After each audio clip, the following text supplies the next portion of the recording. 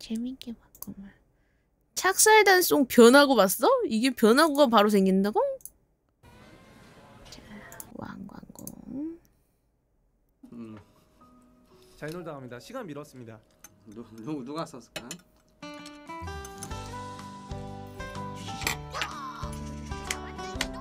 최고다 징버거? 너 저기 가서 영도까지 쏘냐?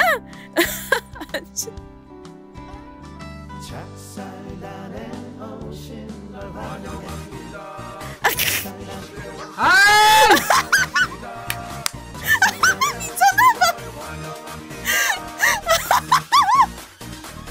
아 미쳤나봐.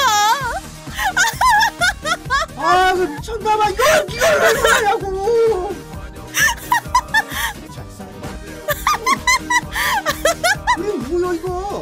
아니 걔 정상스럽게 만들었네.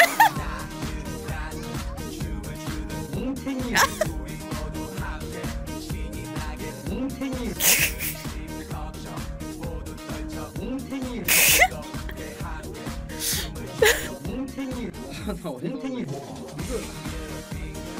아니 미친.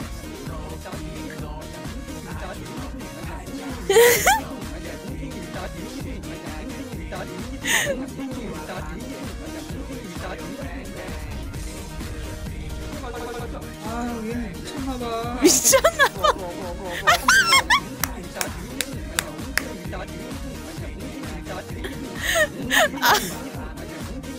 이런 그림 없었잖아. 이게 지가 그렸어. 지가 그렸어. 원작. 어? 이런 그림 뭐? 왜 훼손을 하냐고. 아 훼손한 줄 만든 사람이 아시는구나. 이거를 또 만들었다고 그림 없는 충성 병장함장 행정관 아마따 김성근 아마따 병장함장 김성근 병이 뭐? 아마따 김성근이 있어 나못. 들었어 병장 제 뭐.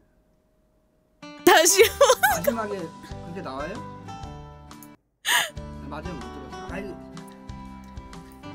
원작자가 지금 그림을 원작자가 이렇게 또 지가 만들었어? 아니 어쩐지 안 그린 그림이 너무 자연스럽게 추가돼가지고 누가 변형시킨 걸 했더니 훼손시키면 안 돼, 어? 이거 만든 사람이 속상해할 수 있어, 어?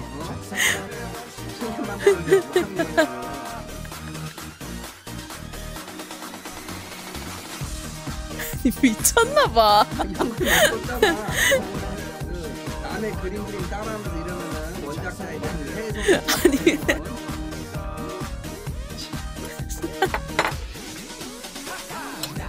그리고 이거 만든 사람은 진버거님 팬이 만들었잖아. 그 사람이 이 사람이에요. 왜? 어쩐지 아 우리 코딱지도 완전 케이님한테 푹 빠지셨네. 이번에 그 광고에 쓴그 케이님이랑 광고 영상 나왔던 썸네일 있잖아요. 미사일 막 무섭게 하는 거.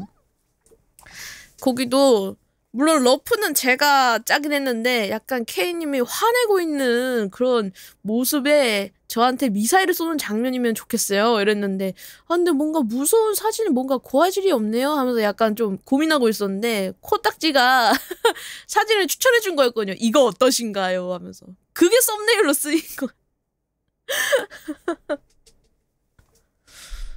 음 하던 놈인 것 같아. 음, 워낙 또 저희 코딱지가 약간 병맛을 되게 좋아해가지고